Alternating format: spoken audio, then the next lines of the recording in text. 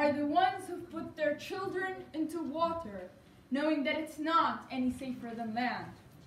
They are the ones forced to survive under humanitarian assistance and obliged to tolerate discrimination in order to maintain a living.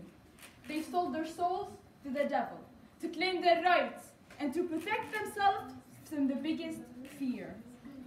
Ladies and gentlemen, they once had names, but now they are referred to as refugees. And as the opposite of an insult, it's a badge of strength, courage, and victory to be called a refugee.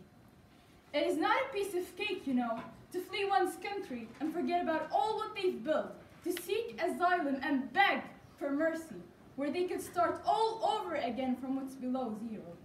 Refugees are deprived from their merest rights and simplest needs to lead a normal life, for they suffer lack of nutrition, health issues, poverty, joblessness, illiteracy, and starvation. And when we speak of refugee rights, we speak of the 60 million souls lacking their essential human rights to lead a competent, simple life. Yes, you heard it.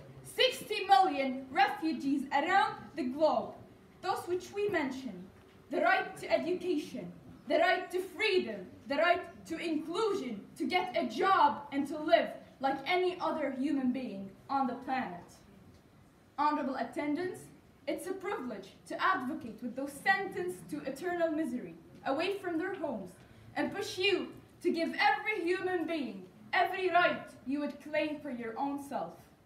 Isn't it a shame, honorable attendants, to, to still have people suffering starvation and lacking essential education in the 21st century?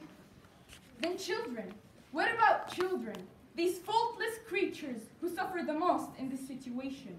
They are deprived their childhood, and the most important of all, they are deprived their future. In fact, according to the UNHCR, nearly one in each 200 child in the world is a child refugee.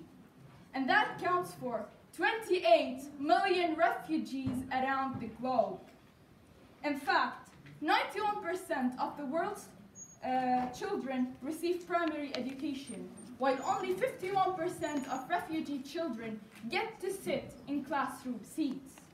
How much of a future do we expect from our children while only these are being educated?